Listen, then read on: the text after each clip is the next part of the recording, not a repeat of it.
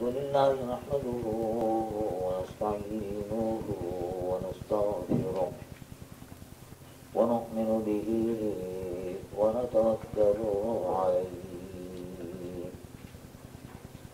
ونعوذ بالله من شرور أنفسنا ومن سيئات أعمالنا. من يهده الله فلا مضل له ومن فلا هادي له ونشهد أن لا إله إلا الله وحده وحده وحده لا شريك له ونشهد أن سيدنا ونبينا وحبيبنا ومولانا محمد. صلى الله عليه وسلم عبده ورسوله. الذي يرسل إلى الخلق كافة بشيرا ونذيرا. وداعيا إلى الله بإذنه وسراجا منيرا. وبشر المؤمنين بأن لهم من الله فضلا كبيرا. فهو الحبيب الذي ترجى شفاعته لكل هون من الأهوال مرتحي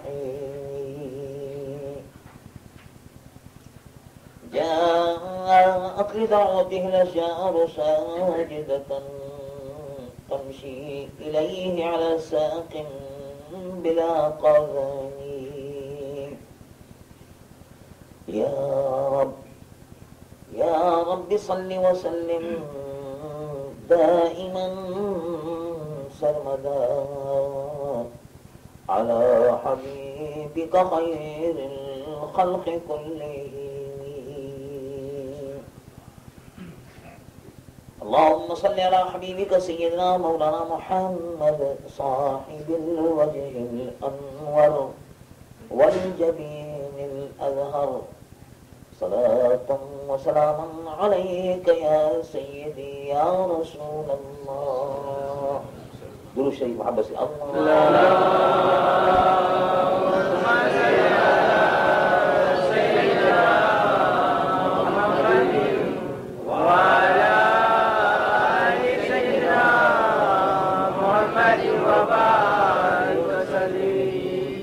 پھر محبت سے درو شریف اللہ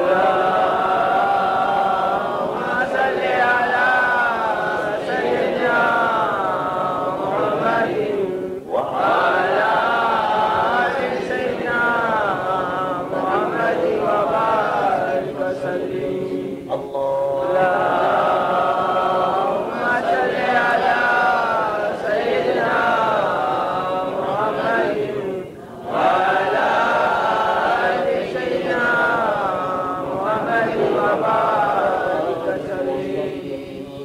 صلى الله عليه وعلى آله وصحبه وبارك وسلم صلاة وسلاما عليك يا سيدي يا حبيبي يا رسول الله صلى الله عليه وسلم حضرات علماء کرام میرے محترم بزرگوں محترم بھائیوں عزیز نوجوانوں محترم بہنوں پیارے بچوں السلام علیکم ورحمۃ اللہ وبرکاتہ وعلیکم السلام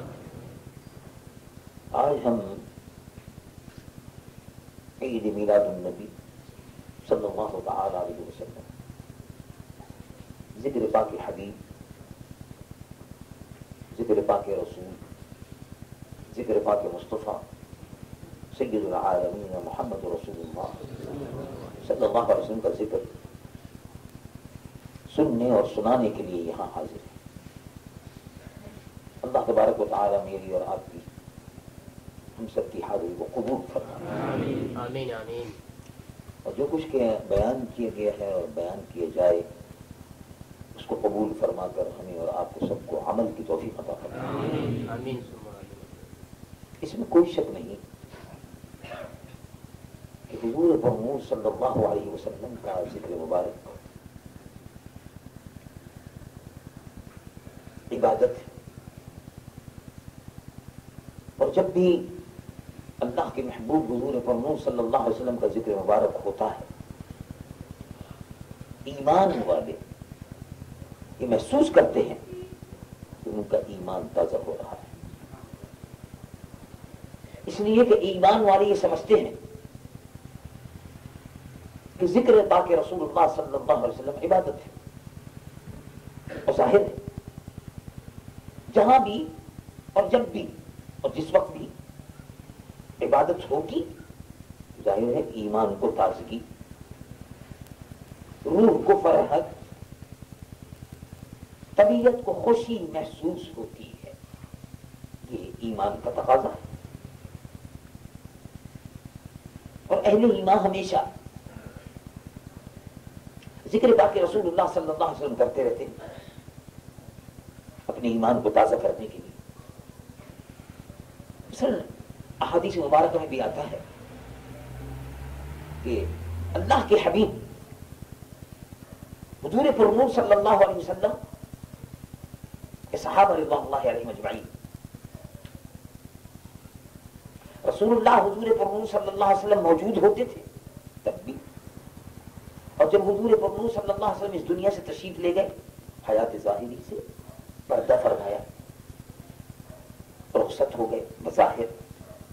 تو بھی صحابہ رضوان اللہ علیہ مجمعین جیسے کہ احادیث مبارکہ میں آتا ہے جس کا شریف میں مسلم شریف میں، آپس میں کہا کرتے ہیں، تعالو آؤ نذکر رسول اللہ صلی اللہ علیہ وسلم۔ آؤ بیٹھیں آؤ بیٹھیں اور ذکر کریں رسول اللہ صلی اللہ علیہ وسلم۔ یعنی رسول اللہ کا ذکر کرنا اور ذکر کی محفل کو منعقد کرنا اور جمع کرنا، یہ طریقہ صحابہ رضوان اللہ علیہ مجمعین تھا۔ تعالوا نذکروا رسول اللہ صلی اللہ علیہ وسلم اور یہ حدیث مشکا شریف میں موجود ہے۔ بہرحال بات اصل میں یہ ہے کہ رسول اللہ حضور پرنور صلی اللہ علیہ وسلم کے ذکر سے فائدہ کیا ہوتا ہے؟ کوئی آدمی یہ کہے، جب اللہ کا ذکر کیجیے۔ اور اللہ نے اپنے ذکر کو قرآن مجید و فرقان حمید میں اللہ تبارک و تعالیٰ نے ذکر الہی کا حکم دیا ہے۔ اور اس میں بڑی کامیابی ہے اور اس میں بڑی خوبی ہے۔ مثلا قرآن مجید و فرقان حمید کی ایک آیت ہے۔ رب العالمین، جل جلالہ عما نوالہ ارشاد فرماتا ہے۔ فذکر اللہ کثیرا۔ اللہ کا ذکر کثرت سے کرو۔ کیا ہوگا؟ یعنی کثرت سے اللہ کا ذکر کرنے سے کیا ہوتا ہے؟ کیوں کرو؟ اور خود قرآن میں اللہ رب العالمین جل جلالہ عما نوالہ جواب دیتا ہے، اس کی وضاحت فرماتا ہے کیوں اللہ کا ذکر زیادہ سے زیادہ اللہ کا ذکر کیوں کرنا چاہیے؟ تو ارشاد ہوا، رب العالمین جل جلالہ عما نوالہ ارشاد فرماتا فذکر اللہ کثیرا لعلکم تفلحون۔ تاکہ تم فلاح پاؤ، تاکہ تم کامیابی حاصل کرو۔ یعنی سکسیسفل لائف گزارنے کے لیے، کامیاب زندگی گزارنے کے لیے اور دنیا میں کامیاب ہونے کے لیے اور آخرت میں کامیابی حاصل کرنے کے لیے کثرت سے اللہ کا ذکر کرنا چاہیے۔ فذکر اللہ اللہ کا ذکر کرو۔ یہ حکم ہے۔ اور کرتے رہو۔ تو بس اللہ کا ذکر کرتے رہیے۔ رسول اللہ کے ذکر سے فائدہ کیا ہوا یہ بڑی عجیب و غریب بات ہے۔ اور بات صحیح بھی ہے۔ دیر از اے لاجک بہائنڈ کہ آپ یہ کہتے ہو کہ رسول اللہ کا ذکر جو ہے وہ عبادت ہے۔ سبحان اللہ۔ موریشس کے پھولوں میں ایک عجیب و غریب بات ہے۔ وہ یہ ہے کہ موریشس کے پھولوں میں خوشبو آتی ہے۔ قاری صاحب کو پتا ہے کہ کراچی کے پھولوں میں خوشبو نہیں ہوتی۔ مولانا کو پتا ہے۔ مولانا حافظ بشیر الدین صاحب ہیں۔ جو کراچی میں بھی رہے ہیں، پاکستان میں رہے ہیں۔ تو پتا ہے اچھی طرح سے۔ پاکستان کے خاص طور سے کراچی کے پھولوں میں قطعاً خوشبو نہیں ہوتی۔ بڑا خوبصورت پھول ہوتا ہے، بڑا زولی ہوتا ہے۔ اس کو دیکھیں آپ دل چاہتا ہے کہ اس کو دیکھتے رہیے۔ لیکن جب آپ اس کو سونگیں گے تو خوشبو نہیں ہوگی۔ معلوم ہوا کہ ہر چیز، ہر خوشنما چیز، ہر اچھی اور زولی چیز جو ہے، یہ ضروری نہیں ہے کہ اس کے اندر خوشبو بھی ہو، اصل یہ ضروری نہیں کہ خوشبو بھی ہو۔ اور پھول، بعض اصل پھول ہوتے ہیں، ان میں خوشبو ہوتی ہے۔ جیسے اب یہ پھول ہے اس میں ماشاءاللہ خوشبو ہے۔ اور وہ بھی پھول ہے اس میں خوشبو نہیں ہے۔ اصل اور نقل کا فرق ہے۔ یہ جو ہے، معلوم ہوتا ہے، بڑا اصلی پودا ہے۔ یعنی اصلی ہے۔ پیور ہے۔ اس کی نسل جو ہے اس میں ملاوٹ نہیں ہے گڈمڈ نہیں ہے۔ پیور ہے۔ اور اس کی نسل معلوم ہوتا گڑبڑ ہے، اس لیے خوشبو نہیں ہے بتا تو جو اصلی پھول ہوگا، اس میں خوشبو ہوگی۔ اور جو نقلی ہوگا، اس میں خوشبو نہیں ہوگی۔ اور ویسے آج کل تو پلاسٹک وغیرہ کے جو پھول بن گئے ہیں اس نے بالکل اور ختم کر دیا، سارے اصل اور نقل کو بھی ختم کر دیا۔ پلاسٹک کے پھول آپ دیکھیں جی، معلوم اصلی ہے بالکل اور اب جو ہاتھ لگا کر دے گا تو معلوم پلاسٹک ہے۔ تو اسی طرح سے اصلی اور نقلی ایمان کا فرق معلوم کرنا چاہیے۔ اصلی اور نقلی۔ بہت سے لوگوں کا ایمان نماز سے بڑا سجا ہوا زولی معلوم ہوتا ہے۔ سبحان اللہ، نماز پڑھتا ہے۔ اور ایسی نماز پڑھتا ہے کہ نشان بھی ہے۔ ہر ہر وقت پڑھتا ہے۔ اب جو قریب سے دیکھا تو معلوم ہوا ایمان کی خوشبو نہیں ہے۔ کراچی والا لگتا ہے۔ یا دہلی والا، دہلی کے پھول میں بھی خوشبو نہیں ہوتا۔ اور بمبئی والا لگتا ہے۔ بہرحال، یہ تو مختلف جگہ کے اور مختلف مقامات کے پھولوں کی بات ہو رہی ہے۔ اصل اصل جو پھول ہے، وہ ہے کہ جس کا ایک نسل ہوتی ہے، یہ جڑیں ہوتی ہیں، پھولوں کی شاخیں ہوتی ہیں۔ جب یہ ایک دوسرے سے ملتی ہیں تو اصل شاخ، اصل سے جب مل گئی تو اس نسل سے جو پھول نکلتا جاتا ہے، وہ اصلی ہوتا ہے۔ تو جس شاخ کا صحیح رشتہ مل گیا، اس سے خوشبو آئے گی۔ جس کا رشتہ ایمان سے جڑ گیا جی؟ اور وہ ایمان کا رشتہ جوڑتا ہے دربار محمد رسول اللہ اس ایمان میں خوشبو ضرور ہوگی. اللہ مسلم بارک علیہ. تو میں آج کر رہا تھا اور بات یہاں سے چلی تھی. قرآن مجید فرقان حمید کی بات یاد آ گئی تو میں نے اصل میں محسوس کیا. اب وہ بعض چیزیں کبھی کبھی ایسا ہوتا ہے کہ میرے سینے پر فرمایا فسکر اللہ اور اور مقام پر قرآن مجید فرقان حمید نے ارشاد فرمایا۔ رب العالمین جل جلالہ عمر والو ارشاد فرماتا فسکرونی اذکرکم۔ میرا ذکر کرو فسکرونی میرا ذکر کرو۔ تو ذکر کے معنی کیا ہے؟ ذکر کے معنی کیا ہے؟ آپ نے پوچھا کسی سے کہ کیا کر رہے ہیں؟ لوگ باقی یہاں بیٹھے ہوئے ان کا ذکر کر رہے ذکر کا کیا مطلب ہوگا یہ لا الہ الا اللہ، لا الہ الا اللہ کی ضربیں لگا رہے ہیں۔ یعنی ذکر کا مطلب ہے یاد کرنا۔ یاد کرنا۔ معلوم ہوا کچھ لوگ ذکر الہی کر رہے ہیں کہ اللہ کو یاد کر رہے ہیں۔ اللہ کا ذکر کر رہے ہیں۔ ذکر کے معنی یاد کر رہے ہیں یاد کر ایک اور مقام پر قرآن مجید و فقان حمید میں اللہ رب العالمین جل جلالہ و نے ارشاد فرمایا رب العالمین جل جلالہ عمن والو ارشاد فرماتا ہے وذکرہم وذکرہم فَإِنَّ الذِّكْرَى تَنْفَعُ الْمُؤْمِنِينَ. یاد دلائی اس لیے کہ یاد دلاتے رہنا، ذکر یاد دلائی فَإِنَّ الذِّكْرَى یاد دلاتے رہنا مؤمنوں کو نفع دیتا ہے یعنی ایمان والوں کو باتیں یاد دلاتے رہیے۔ بھائی نماز پڑھو، روزہ رکھو، حج کرو زکات دو، ملا شریف کرو، ذکر پاک رسول اللہ صلی اللہ علیہ وسلم کرو، حضور پرور صلی اللہ علیہ وسلم کی محفلیں کرو، مجالس پڑھو۔ اللہ کی اس کے محبوب کی اور ان کے محبوبی اور یا اللہ کے ذکر کی محفلیں اور مجلسیں منعقد کرو۔ یاد دلاتے رہیے، اس لیے کہ لوگ بعض دنیا کے بہت سے کاموں میں بھول جاتے ہیں۔ ان ذکر یاد دلاتے رہنا، تنفع المؤمنین۔ مومنوں کو فائدہ دیتا ہے۔ ایک اور مقام پر اشارہ فرمایا رب العالمین جل جلالہ عمر والے ارشاد فرماتا بذکرہم بیان اللہ۔ یاد دلائیے۔ اللہ کے دنوں کی یاد دلائیے۔ وذکرہم بیان اللہ۔ ساتھ اللہ کے دنوں کے ان کو یاد دلائیے اب حالانکہ اگر آپ دیکھیں تو دن جتنے بھی ہیں وہ سب اللہ کے دن تو سب اللہ کے ہفتہ اتوار، پیر، منگل، بدھ، سب اللہ کے دن ہیں۔ لیکن بعض دنوں میں برکت ہے۔ ہے؟ سب دن برابر نہیں ہے اگر کوئی آدمی آپ سے یہ کہے کہ سب دن برابر ہے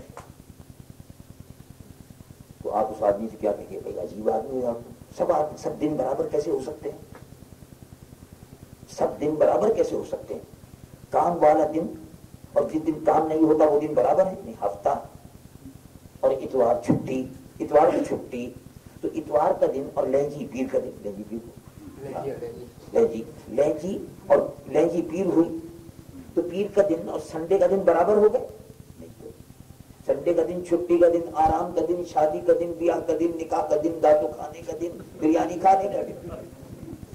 اور منڈے جی کام کا دینا کتنا بڑا فرق ہو گیا۔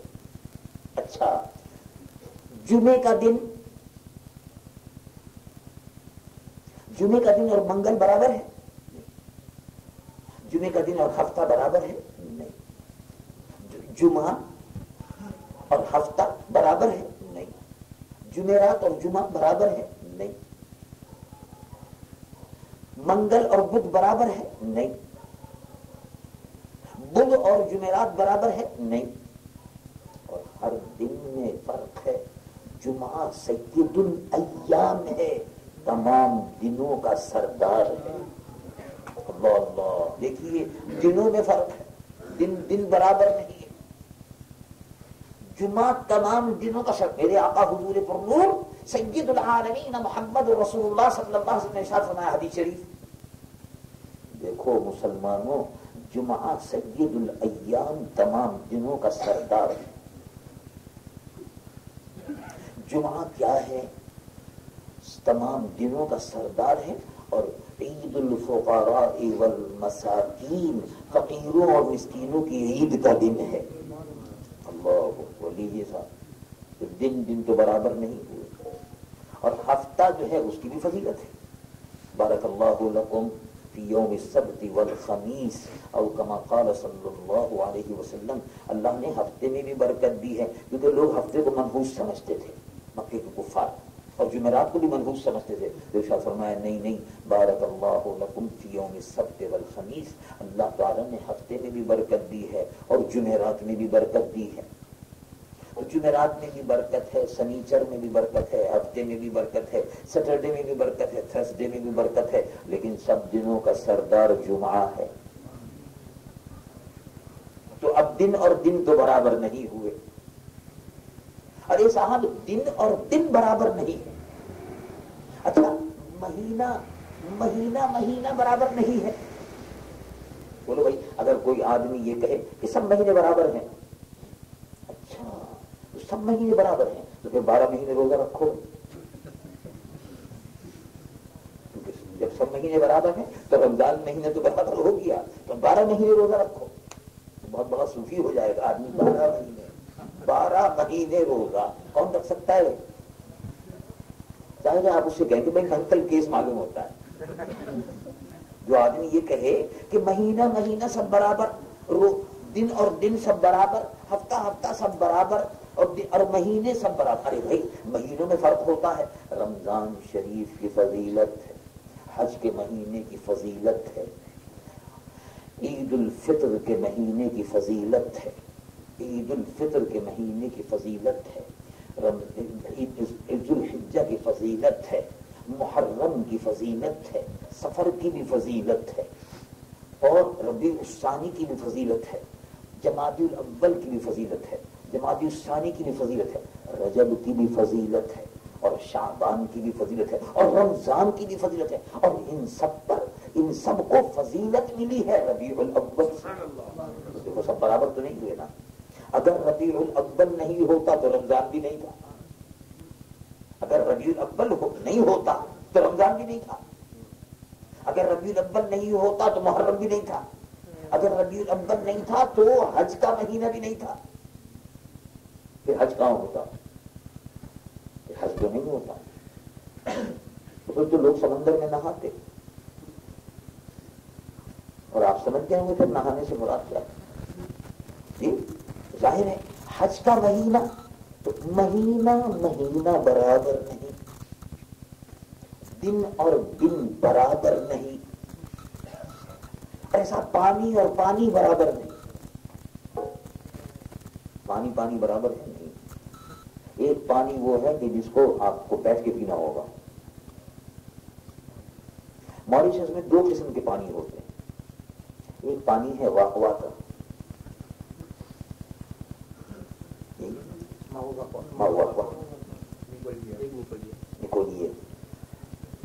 اور ایک پانی وہ ہے جو نسوس سے نکلتا ہے۔ فلٹر اس کو کرتے ہیں اور بوتل میں اس کو بھی بیچتے ہیں۔ ایک وہ پانی تو پانی اور پانی برابر نہیں ہے۔ پانی اور پانی برابر نہیں۔ اگر کوئی آدمی یہ کہے کہ جو تالاب میں پانی پڑا ہوا ہے، یہ بھی برابر۔ یہ جو یہاں نالی میں پانی پڑا ہوا ہے، یہ بھی برابر۔ یہ جو گندا پانی بہ رہا ہے، یہ بھی پانی ہے۔ جو سمندر میں ہے، یہ بھی پانی ہے۔ پانی تو ہے۔ مگر واقوا کا لاکوین کا پانی جو ہے اور باقی جو پانی ہے اس میں فرق ہے۔ جو لکاوین کا پانی ہے وہ ہم اور آپ پی سکتے ہیں اور سمندر کا پانی پی سکتے ہیں، نہیں پی سکتے۔ اگر پانی پانی سب برابر ہے تو کوئی آدمی کہے کہ سمندر کا پانی بھی پیو، انڈین اوشن کا پانی کیوں نہیں پیتے؟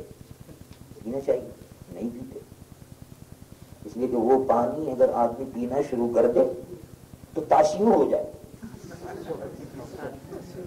تاشیوں ہو جائے۔ ہائی بلڈ پریشر ہو جائے۔ نمک ہی نمک ہے۔ زندہ نہیں رہ سکتا، مر جائے تھوڑے دن بعد۔ نمک کا پانی پینے سے۔ زندہ نہیں رہ سکتا۔ مشکل ہوگا جینا اس کا۔ یہ تو آپ خود سمجھتے تو پانی اور پانی برابر نہیں ہے۔ ایک پانی نمکین ہے، ایک پانی میٹھا ہے، ایک پانی چشمے کا ہے، ایک پانی لاسوس کا ہے، اور ایک پانی زمزم شریف کا ہے۔ دونوں میں فرق ہے۔ بہت بڑا فرق ہے۔ پانی اور پانی میں فرق ہے۔ دن اور دن میں فرق ہے۔ مہینے اور مہینے میں فرق ہے۔ اور بھلا دیکھو تو صحیح اگر کوئی آدمی یہ کہے کہ امتی میں اور رسول اللہ میں فرق نہیں ہے تو یہ کیسے ہو سکتا ہے؟ یہ ہو سکتی ہے بات۔ اب سوچو۔ تو امتی میں اور رسول میں بھی تو فرق ہوگا۔ امتی میں اور رسول میں بھی فرق ہوگا۔ دن اور دن میں فرق ہے۔ مہینے اور مہینے میں فرق ہے۔ پانی اور پانی میں فرق ہے۔ اور امتی میں اور رسولوں میں فرق ہے۔ رسول اور رسولوں میں فرق ہے۔ اور تمام رسولوں میں اور مصطفیٰ میں فرق ہے۔ کیا فرق ہے؟ سب سے آنا ہمارا نبی۔ سب سے آنا ہمارا نبی۔ سبحان اللہ۔ امام اہل سنت عظیم المرتبہ اعلیٰ حضرت فاضل الرحیم نظر اللہ مرتبہ نے بڑی پیاری بات فرمائی۔ سب سے آنا ہمارا نبی سب سے بالا والا ہمارا نبی۔ پڑھیے محبت سے سب سے سب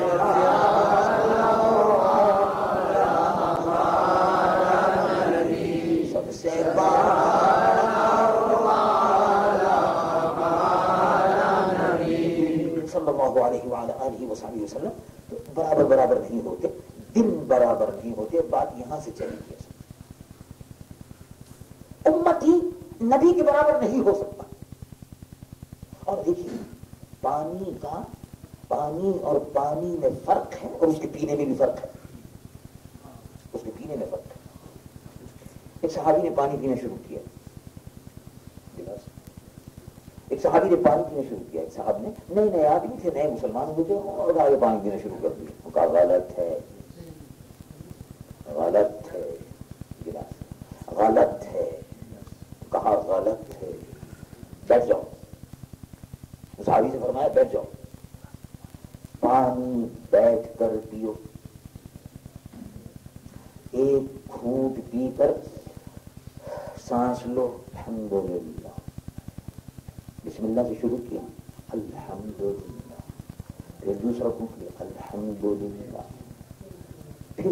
تیسرے گھونٹ میں ختم کر دیا۔ تین سانس میں پانی پیو اور بیٹھ کر پیو اور سیدھے ہاتھ سے پیو۔ یہ فیشن ہو گیا ہے، یورپ والے الٹے ہاتھ سے پیتے الٹے ہاتھ سے پانی اگر سیدھے ہاتھ سے کھانا کھایا ہے اور آپ سمجھتے ہیں کہ گلاس میلا ہو جائے گا، تو گلاس کو سیدھے ہاتھ پر رکھ کر بھی پی لیجیے یاد کر رکھ کر پی لیجیے پانی ضرورت نہیں کیسے ضرورت ہوگی شکریہ پانی پینے کے آداب ہیں بیٹھ کر پیو تین سانس میں پیو۔ اور سیدھے ہاتھ سے پیو۔ اور پیشاب کرنے کا بھی ادب ہے۔ ابھی حضرت خطیب اعظم حضرت مولانا شمیم نظری دامت برکات منا دیا۔ ارشاد فرما رہے تھے تو لوگ پڑھے لکھے بہت تھے ڈگریاں بہت تھیں سوٹ بہت عمدہ پہنتے کریز نہیں پڑنے پائے خراب نہ ہونے پائے پھر وہ صحیح رکھتے ٹائی بڑی کسی بھی ہوتی ہے ڈھیلی نہیں ہوتی آپ کسی بھی فٹ لیٹ کرو ڈگری بڑی لمبی چوڑی لے کر آئے فرانس سے لیکن بیٹھنے میں چلنے میں اور پھرنے میں جانور معلوم ہوتے ہیں کیسے کہلاتے ہیں ڈاکٹر صاحب جیسے کہلاتے ہیں آبوکا ڈاکٹر اسپیشلسٹ لیکن جانور، آپ ان کو دیکھیں گے تو کھڑے ہو کے پیشاب کر رہے ہیں تو کھڑے ہو کے تو گدھا بھی پیشاب کرتا ہے۔ کتا بھی کھڑے ہو کے پیشاب کرتا ہے۔ جانور کھڑے ہو کے پیشاب کرتا ہے۔ تو اس جانور میں اور ڈاکٹر میں کیا فرق ہے؟ سوچیے اس جانور میں پڑھے لکھے جانور میں کیا فرق ہے؟ یہ پڑھا لکھا جانور ہے۔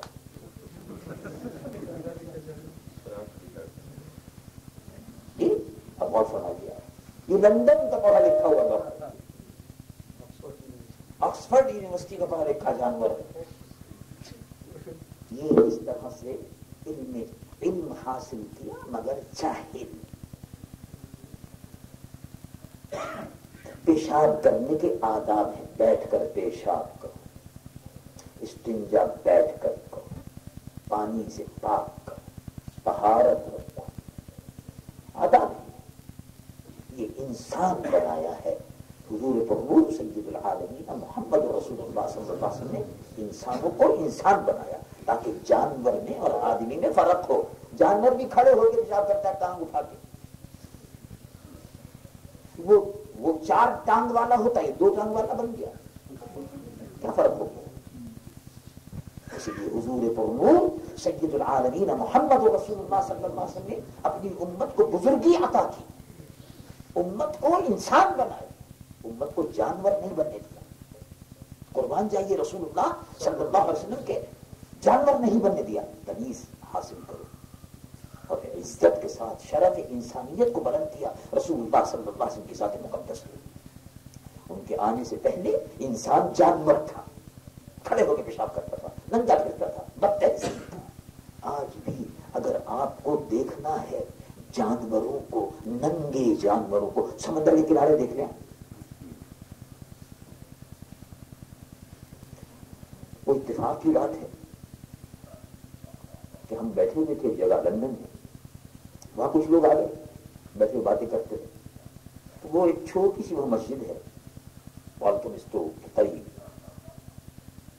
پاکستانی مسلمان جو ہیں، انہوں نے وہاں ایک جگہ پر چھوٹی سی قبضہ کر کے، وہ سلک سینٹر تھا، اس سلک سینٹر کے برابر میں زمین پڑی ہوئی تھی۔ اس پہ چھوٹا سا قبضہ کر کے کیبن ویبن بنا کے لکڑی کا اور اس پہ قبضہ کر لیا اور اسے مسجد۔ وہاں کچھ لوگ آ گئے۔ وہ سلک سینٹر برابر میں تھا اور لائبریری۔ تو وہ لوگ ادھر آ جاتے تھے گورے لوگ۔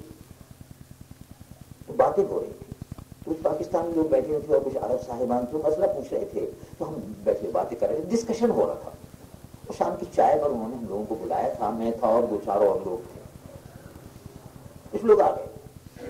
وہ انگریز لوگ تھے۔ گورا صاحب تھا، گورا۔ صاحب لوگ تھے، گورے لوگ تھے۔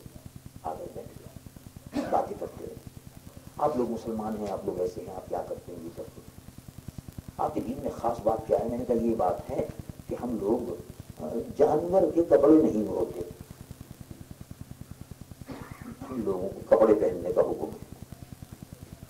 ان کا کپڑے تو ہم بھی پہنتے، مگر ہمیں کہاں آپ پہنتے۔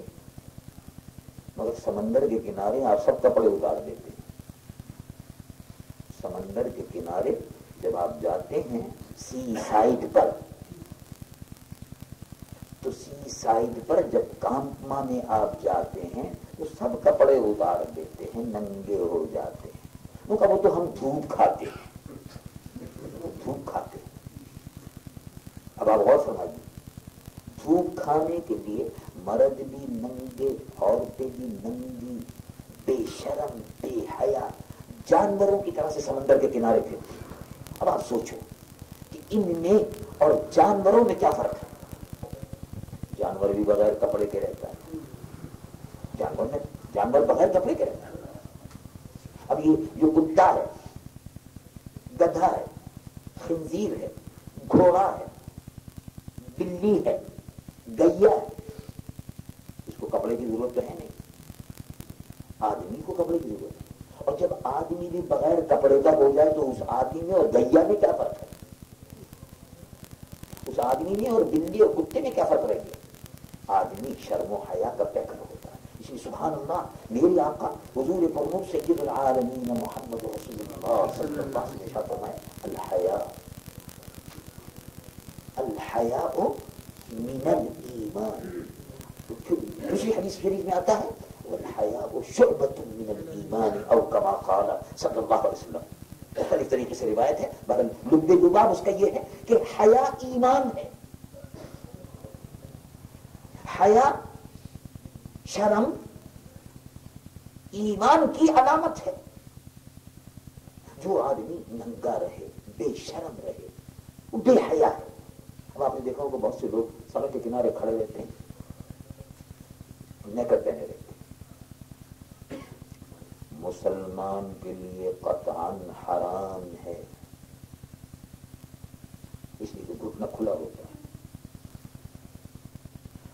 من السرت الى الرکبہ، ناک سے لے کر گھٹنے تک۔ یہ سطر ہے مرد کا، فرض ہے اس کا ڈھکنا۔ اور دیکھیے، مسلمان بھی لوگوں کو دیکھ کر کافری کفری لوگوں کو دیکھ کر مشرقوں کو دیکھ کر، کافروں کو دیکھا جاتی۔ بہت سے مسلمانوں کو دیکھا، گھر کے اندر ننگے بس وہ اپنا وہ پہنے ہوئے ہیں، ٹہل رہے جانور بالکل بنتے جا رہے حیا نہیں ہے بے شرمی ہے یہاں ناس سے لے کر گھٹنے تک کسی بھی غیر محرم کے سامنے، کسی کے بھی سامنے، غیر کے سامنے اس کا کھولنا حرام ہے۔ اور بے حیا لوگوں کو، بے شرم لوگوں کو آپ سمندر کے کنارے دیکھتے ہیں، اس طرح سے بے حیائی پھیلاتے ہیں۔ بعد بات یہاں سے چلی تھی۔ کہ حضور پرور صلی اللہ علیہ وسلم نے فرمایا کہ حیا اور شرم آپ کو ڈھانپنا اپنے جسم کو چھپانا عورتوں کے لیے اور مردوں کے لیے اللہ کے محبوب سید العالمین محمد رسول اللہ صلی اللہ علیہ وسلم فرمایا اس طرح سے مسجد ہے یہ مسجد میں آنے کے آداب ہے مسجد میں کیسے آؤ اب اگر کوئی آدمی مسجد میں شارٹ پہن کر آ جائے تو آ سکتا ہے کیا نہیں آ سکتا اگر کوئی آدمی مسجد میں گندے کپڑے پہن کے آنا چاہے مکرو اچھا لباس پہن کر صاف ستھرا لباس پہن کر۔ چنانچہ دیکھیے، قرآن مجید و فقان حمید کی آیت ہے۔ رب العالمین جل جلالہ عمن والو ارشاد فرماتا ہے، خذو زینتکم عند کل مسجد. خذو زینتکم۔ اچھے کپڑے پہن کر سمر کر، تہذیب کے ساتھ با حیا بن کر مسجد میں، اللہ کے گھر میں عبادت کے لیے آؤ۔ مسجد کی بھی آداب ہے۔ مسئلہ یہاں سے چلا تھا۔ پانی پینے کے آداب ہیں یہ پانی جو ہے، اس کو بیٹھ کر پینا چاہیے۔ پانی اور پانی میں فرق ہے۔ یہ پانی بیٹھ کر پینا چاہیے۔ اور ایک وہ پانی، ایک وہ پانی کہ جس پانی کو، تو ہر بات ایسی ہوتا رہتا ہے۔ گرو شریف پڑھی اللہ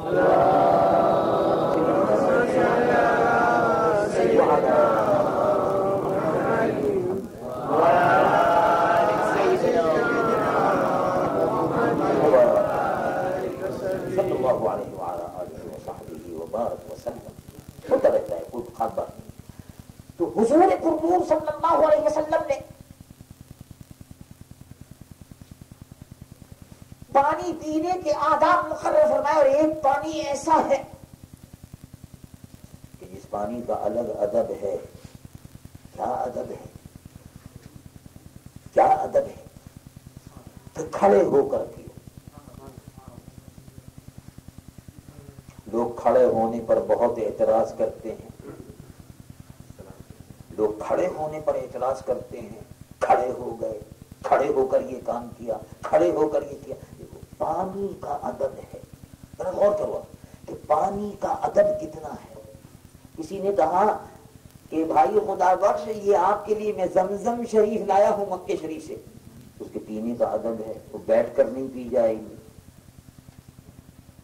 وہ ایک ایک گھونٹ کر کے نہیں پی جائے گی۔ میں نے آپ کو بتایا کہ سنت یہ ہے، ایک گھونٹ ہے دوسرا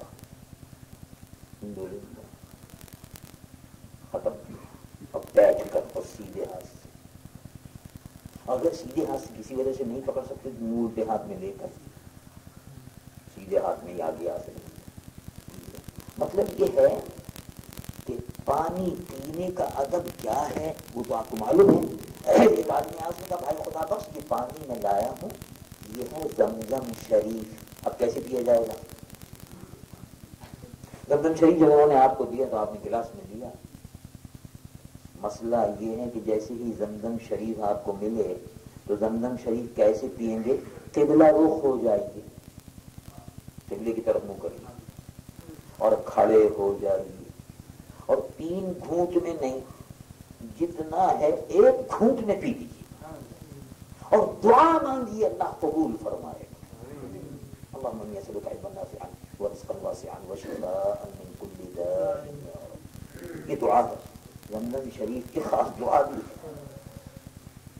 زمزم شریف کے پینے کے آداب ہیں اور اس کی خاص دعا ہے۔ اللهم اني نافعا ورزقا واسعا وشفاء من كل داء۔ اے اللہ اسالك علما نافعا، علم نافع مجھ کو عطا فرما۔ اور اللہ میری روزی میں برکت عطا فرما۔ اور اے اللہ، ہر بیماری سے مجھ کو شفا عطا فرما۔ میرے آقا، حضور قربور صلی اللہ علیہ وسلم نے ارشاد فرمایا، ماں زمزم۔ زمزم شریف کا جو پانی ہے جو دعا تم مانگو گے، اللہ اس کو قبول ضرور فرماتا مستجاب۔ کھڑے ہو کر، قبلہ رخ ہو کر، ایک دم پیٹ بھر کر پیو۔ یعنی ایک گھونٹ میں سب پی لو الگ الگ کر کے سانس توڑ کے مت پیو۔ یہ اس کے آداب ہیں۔ اور کھڑے ہو کر پیو۔ سبحان اللہ اگر زمزم کا۔ زمزم کا یہ ادب کیوں ہے؟ اب ضرور سوچیے۔ نہیں، زمزم میں کیا خاص بات ہے؟ زمزم کا یہ ادب کیوں ہے؟ بات یہ ہوئی کہ ایک اللہ کے برگزیدہ نبی تھے حضرت ابراہیم ارے نبی السلام حضرت ابراہیم خلیل اللہ علی نبینا علیہ الصلات والسلام، ان کے بیٹے تھے اسماعیل ذبیح اللہ، جن کے یاد میں قربانی ہوتی اور قربانی کے گوشت کی وجہ سے ہم ان کو بہت یاد رکھتے ہیں کہ ان کی برکت سے گیا کھانے کو ملتی ہے گوشت ملتا ہے بریانی ملتی ہے۔ اس دن بڑی خوشی ہوتی ہے مسلمانوں کو گوشت بانٹتے ہیں اور ہونا چاہیے۔ خوشی کا دن ہے اور فرحت کا دن ہے اور مبارک دن ہے۔ اللہ تعالیٰ تمام روح زمین کے مسلمانوں کو بقرہ عید کی عید الاضحیٰ کی خوشیاں نصیب فرمائے۔ اللہ کے محبوب کی امت پر خوشحالی رہے انشاءاللہ۔ تو میں کر رہا تھا کہ حضور پر نور صلی اللہ علیہ وسلم اسی نسل سے حضرت اسماعیل ذبیح اللہ کو مکہ معظمہ میں ابراہیم خلیل اللہ نے چھوڑ دیا۔ اپنی بیوی کو بھی چھوڑ دیا، بیوی اور ایک بچہ اور وہاں وہاں جنگل نہیں، سہارا ڈیزرٹ۔ پانی نہیں، چشمہ نہیں، مکان نہیں، مکی نہیں، کوئی نہیں۔ نہ چھوڑ دیا۔ جب اتارا تو بیوی صاحبہ نے کہا کہ اب آپ بھی اتریے۔ کہا، نہیں، میں نہیں اتروں گا۔ میں اونٹ پر بیٹھا ہوں، سواری پر۔ اب میں جاتا ہوں۔ کا کیا مطلب؟ ان کا میں تم کو یہیں اسی جگہ پر چھوڑ کے جا رہا ہوں۔ جنگل ہے۔ یہاں آدمی کوئی نہیں۔ میں اور میرا یہ بچہ گود میں اے اللہ کے برگزید نبی، اے ابراہیم خلیل اللہ۔ بی بی حاجرہ نے فرمایا، اے اللہ کے برگزید نبی، ابراہیم خلیل اللہ۔ بی بی حاجرہ نے اپنے شوہر سے کہا، آپ مجھ کو یہاں چھوڑ کر جا رہے میں تو اکیلی ہوں۔ کہا کہ بس حکم یہی ہے کہا آپ چھوڑ کر جا رہے ہیں کہا نہیں کہا کس کا حکم ہے وہ کہا اللہ کا حکم ہے تو حضرت بی نے بی بی حاضر نے کہا، اگر اللہ کا حکم ہے تو اس کے حکم پر قربان۔ میں یہیں رہوں گی۔ ٹھیک ہے، جو میرے رب کا حکم میں اسی کے بتا دیتا ہوں حضرت ابراہیم خلیل اللہ نے ان کو چھوڑا اور اس کے بعد کیا کہا؟ رب العالمین، جل جلالہ امن والو ارشاد فرماتا، ربنا، اے میرے رب۔ اللہ رب العالمین، قرآن مجید و فقہ حمید اس کا نقشہ کھیلتا ہے رب العالمين. جل جلاله وقال قالوا شفقة ربنا إني أسكنت من ذريتي بواد غير ذي زرع عند بيتك المحرم. ربنا ليقيموا الصلاة. أي الله.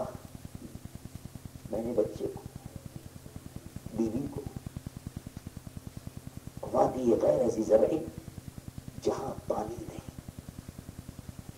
سبزہ نہیں، جہاں کھیت اور کھلیان نہیں تپسما نہیں، کچھ نہیں۔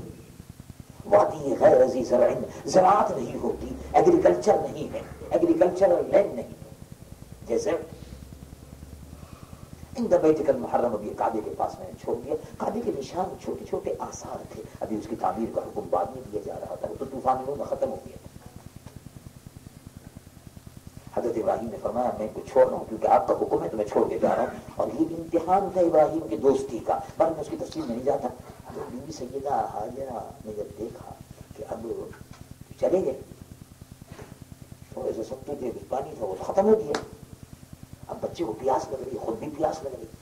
تو تلاش میں پانی کی قریبی، تو سفا مروا اونچی اونچی تھی، چھوٹی چھوٹی پہاڑیاں تھیں اونچی اونچی، ان پہ چڑھتی تھی، دیکھتی تھی شاید ادھر سے ادھر سے کوئی لوگ آ جائے، کوئی آدمی مل جائے، اس کو بلائیں، نہیں ملتا پانی۔ کوئی آدمی بھی نظر نہیں آ رہا۔ چمک سی نظر آتی تھی، تھوڑی تھوڑی جیسے ریت کے سرے چمکتے تو اسی جی، شاید پانی ہے پھر دوڑتی تھی واپس آئی۔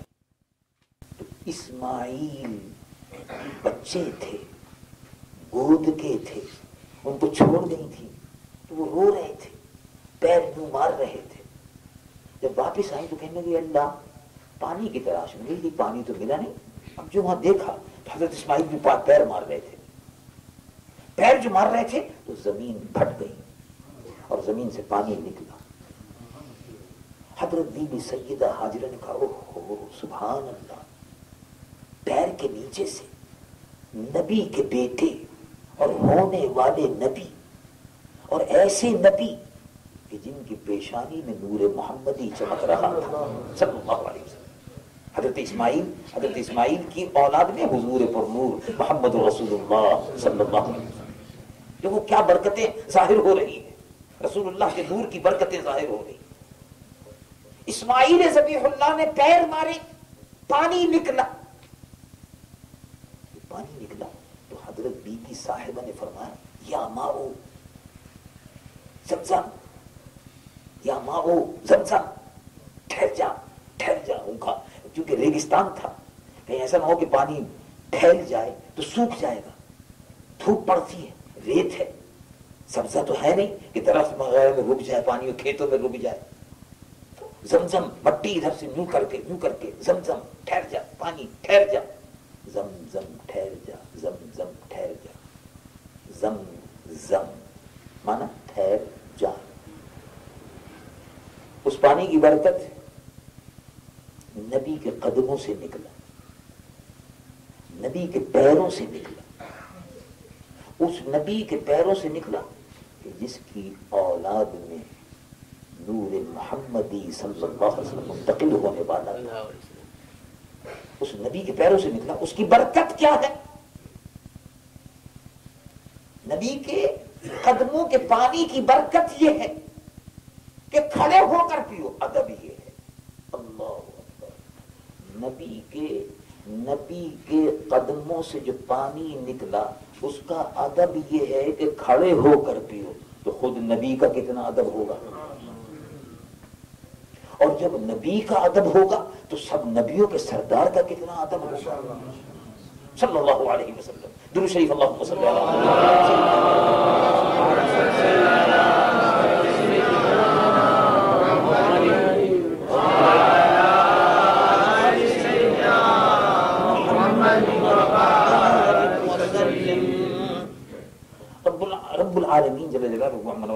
عرض کیا نا قرآن مجید و فرقان حمید کی آیت جو میں نے پڑھی۔ رب العالمین جل جلالہ و عمل والو ارشاد فرماتا بذکرہم بأیام اللہ. اے محبوب، ان کو یاد دلا دیجیے۔ اللہ کے دنوں کی یاد دلائی اللہ کے دن، معلوم اللہ کے بھی دن ہیں۔ اللہ کے دن ہیں۔ یہ بقرعید کا دن اللہ ہی کا جو دن ہے۔ قربانی کا دن اللہ ہی کا مقرر کیا ہوا دن ہے۔ یہ دن ہے۔ ذکر کے معنی پر بات ہو رہی تھی۔ اس کی تفصیل ہے، لمبی چوڑی، میں اس وقت اس میں نہیں جاتا۔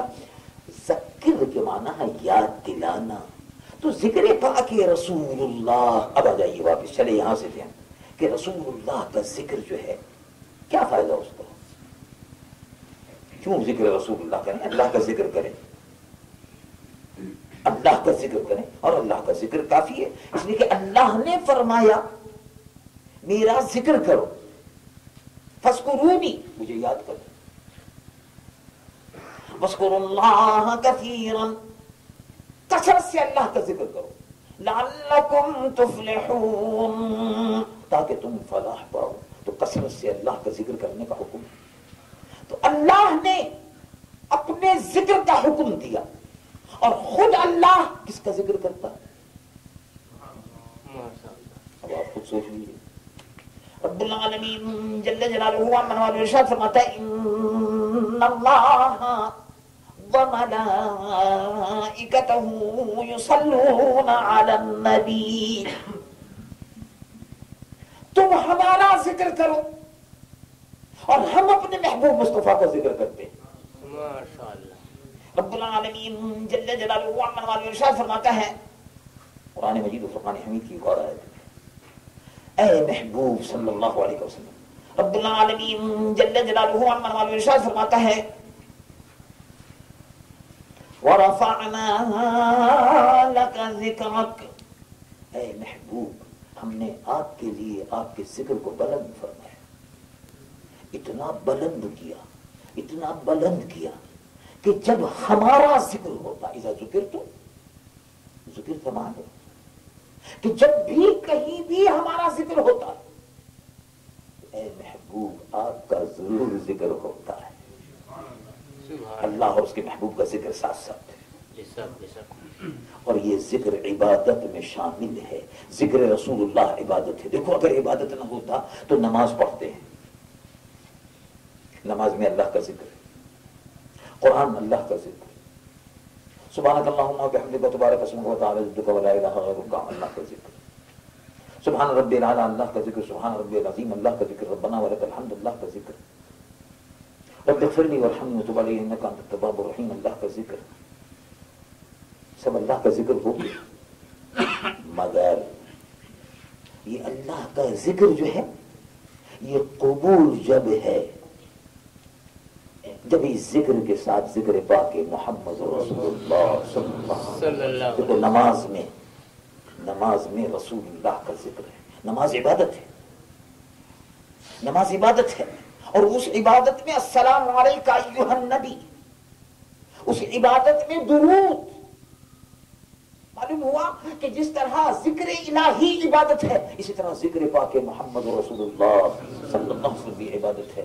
تکبیر میں کلمے میں، نمازوں میں اذان میں، تکبیر میں کلمے میں، نمازوں میں اذان میں ہے نام الہی سے ملا۔ نام الہی سے ملا نام محمد. صلی اللہ علیہ وسلم. اللہ نے اپنے محبوب کے ذکر کو بلند فرمایا اور یہ ذکر رسول اللہ یہ بھی عبادت ہے. اللہ رب العالمین جل جلالہ عمن والہ ذکر پاک رسول اللہ کی ہمیں توفیق عطا فرمائے. کھڑے ہوں ادب سے صلاۃ السلام کر رضوان پڑھیے محمد سیاں بسم